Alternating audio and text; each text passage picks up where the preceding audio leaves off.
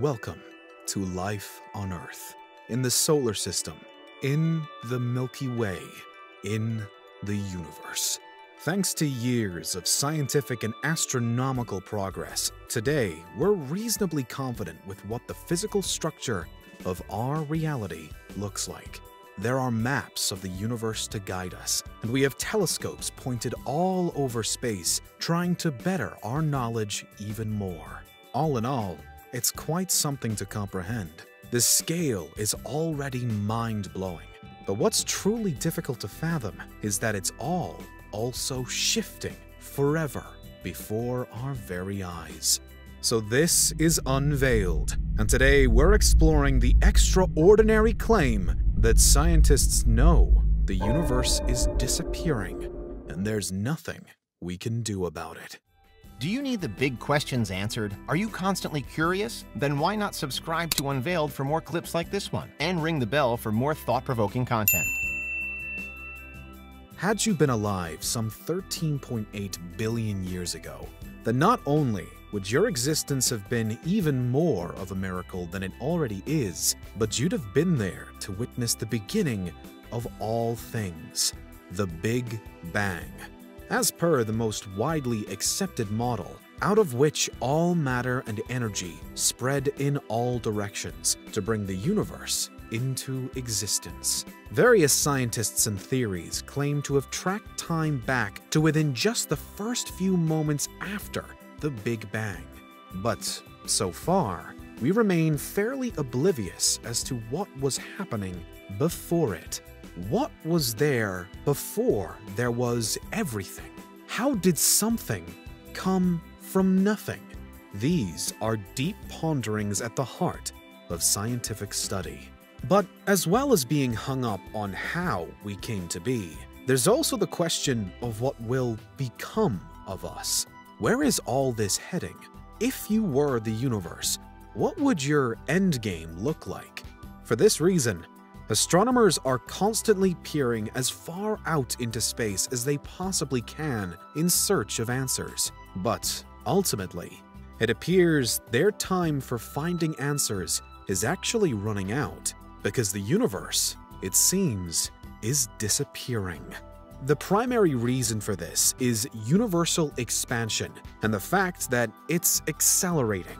We've known for decades that the universe is expanding, and that stars, planets, and galaxies that aren't in our local group and therefore held by gravity are always moving away from us. But we've also known since the late 20th century that the rate of that expansion is accelerating, which means that more stars, planets, and galaxies are moving away from us with every passing second.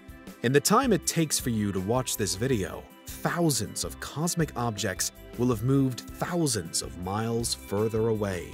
Scientists believe that the ultimate result of this is that one day, in the far future, and if accelerating expansion continues, our local group of galaxies, including the Milky Way and Andromeda, should find itself totally isolated from all other galaxy groups we should eventually be not so much cut adrift as stretched adrift from all the rest of space, with far darker skies set against an ever deepening void. But how does that work? Really, the key thing that's happening here is that the universe expands at faster than the speed of light. You might reasonably ask, how is that possible? We know that a cornerstone of all physics is that nothing can move faster than light speed. That light speed works like an ultimate speed limit for all objects in the universe, from planets to particles.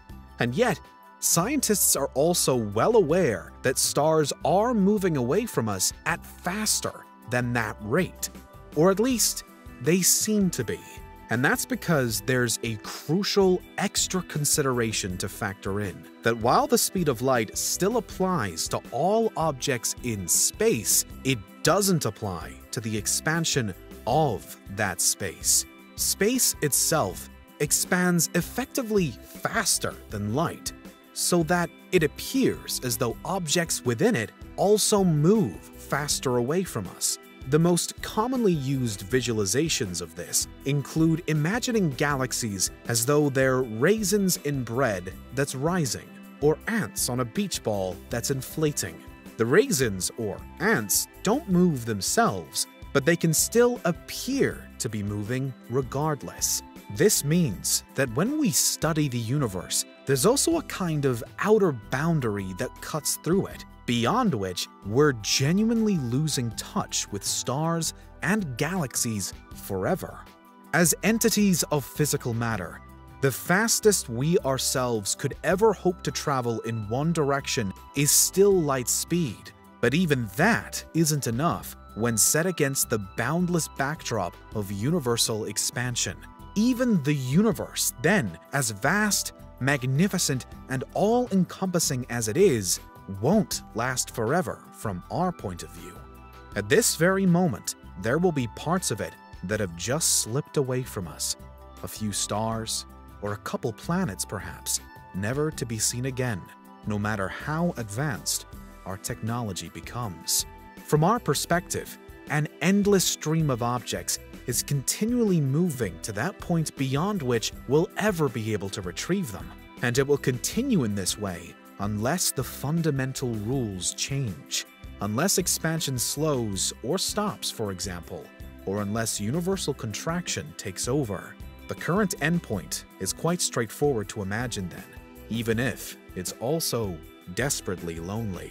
But still, that endpoint, as lonely as it is, won't likely take hold until billions, perhaps even trillions of years into the future. Seeing as Earth itself might only survive for another 5 billion years or so, at which point the red giant sun may well consume it, what does it really matter to us?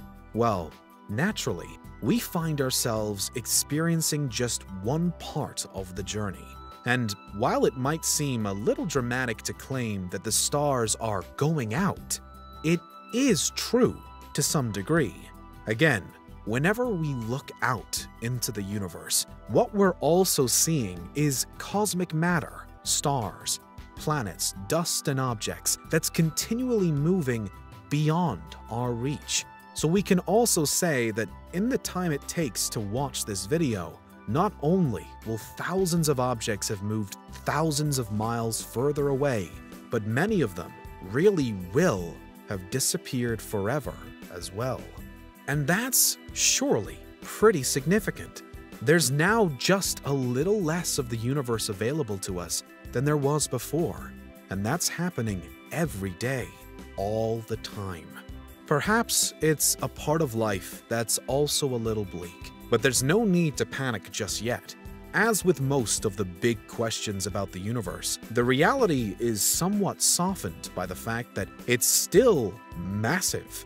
It has been estimated that there are around 2 trillion galaxies out there in total. And although it's also been said that only around 5% of that 2 trillion are still accessible to us, that is, they still fall within the confines of light speed, we're still talking billions of galaxies, hosting billions of stars and planets that are still within the realms of physical possibility from our point of view.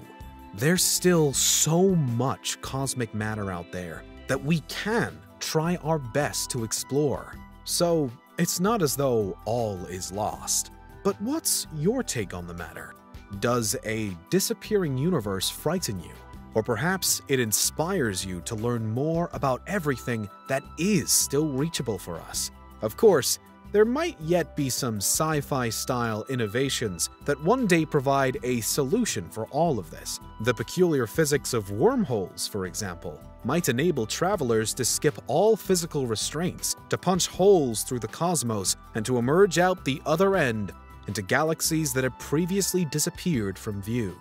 But in reality, we're still very far away from wormholes being anything other than a theoretical concept.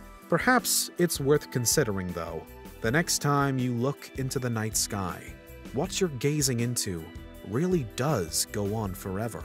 But also, what you can ever see of it will always be limited.